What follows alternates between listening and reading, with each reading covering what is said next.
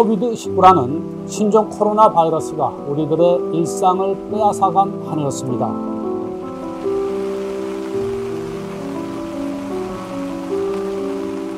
이 비대면이라는 뜻을 갖고 있는 언택트라는 화두를 우리들에게 안겨주게 되었습니다.